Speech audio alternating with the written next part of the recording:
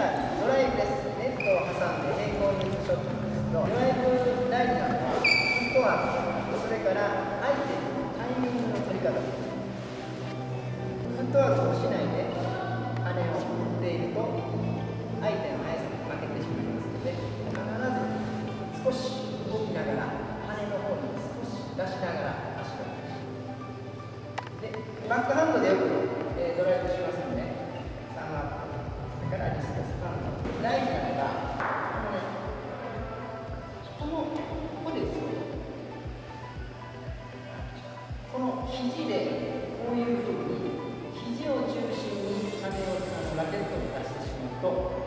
さに負けてしまいますのでできるだけ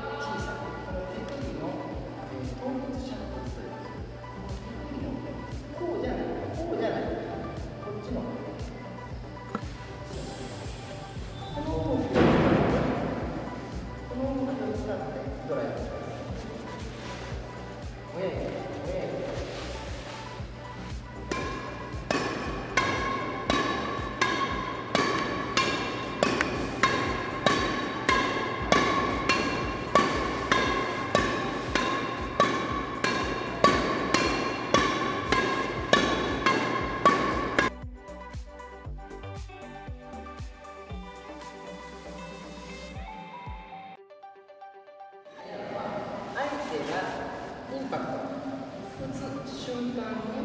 その引くこの予備動作がしっかりしてると余裕ができるので羽が来てから打ちに行きますこれが相手が当たってるのに何もして飛んできてから引いたには遅いです羽が来る直前に引いてそこから来たら押さえるでそれを体で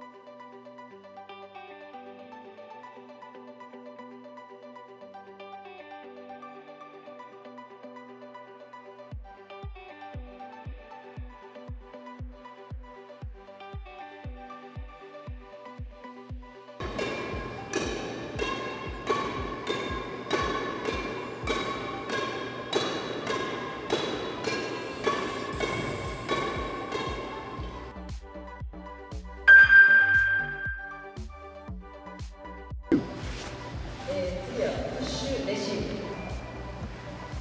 まあ、肩肩幅ぐらいに開いでこれもバックハンドですることが多いので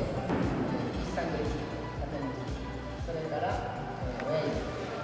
サンマそれからリスト